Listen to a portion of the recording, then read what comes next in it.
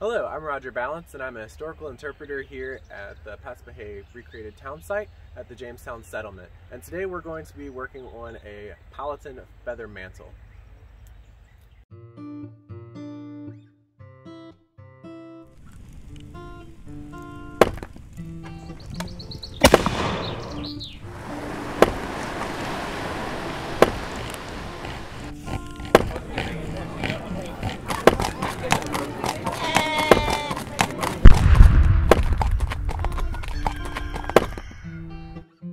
So this is the feather mantle that's actually being worked on currently.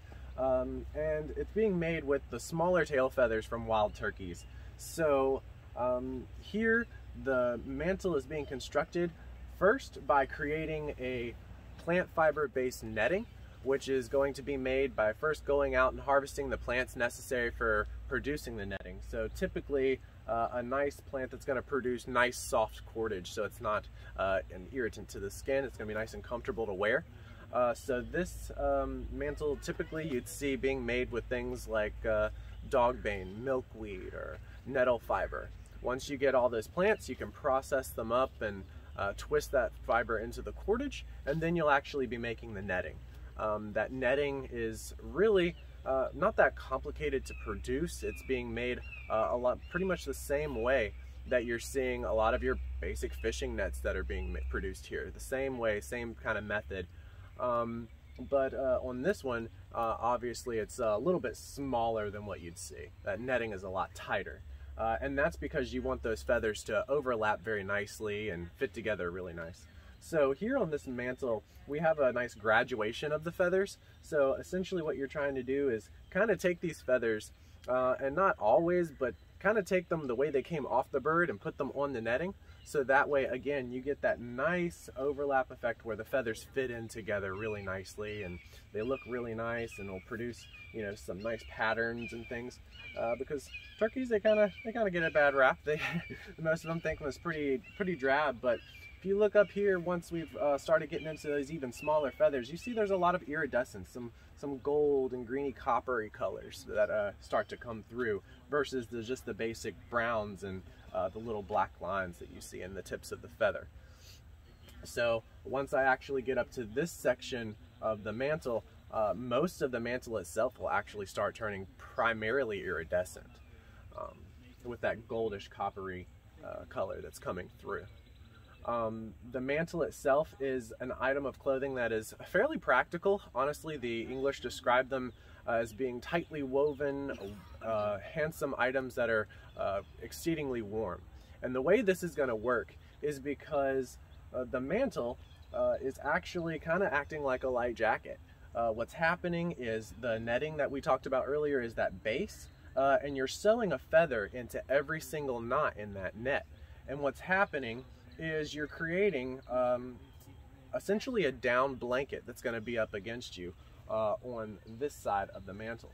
Uh, and then on the reverse side, or the pretty side as I like to call it, you create this kind of uh, overlap shingle type effect of uh, sort of a shell that just locks in all of that heat uh, that's in that mantle that your body is producing.